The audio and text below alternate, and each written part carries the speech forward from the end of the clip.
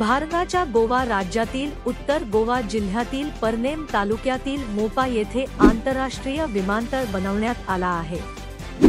हे उत्तर गोवा आणि कर्नाटक आणि महाराष्ट्राच्या लगतच्या जिल्ह्यांना आणि दाबोलीमधील दाबोलीम विमानतळानंतर गोव्याचे दुसरे विमानतळ म्हणून सेवा देते.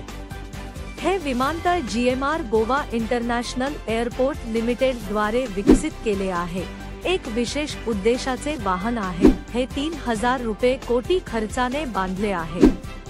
विमानतळ हे बिल्ड ऑपरेट ट्रान्सफर मॉडेल अंतर्गत चार टप्प्यात बांधले गेले आहे. पहिल्या टप्प्यासाठी एकूण एक हजार पाचशे रुपये कोटी खर्च आला आहे.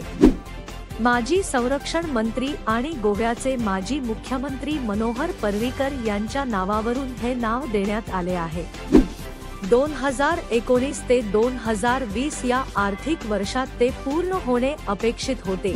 परंतु सर्वोच्च न्यायालयाच्या आदेशामुळे साईटवरील कामात अडथळा निर्माण झाल्यामुळे आणि सध्या सुरू असलेल्या कोविड एकोणीस साथीच्या आजारामुळे लॉकडाऊन निर्बंध आणि कर्फ्यू यामुळे विलंब झाला.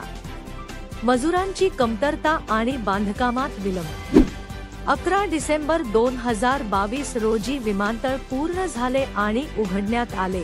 पाच जानेवारी दोन हजार तेवीसपासून इंडिगो द्वारे ऑपरेट केलेल्या पहिल्या उड्डाणासह ऑपरेशन सुरू झाले.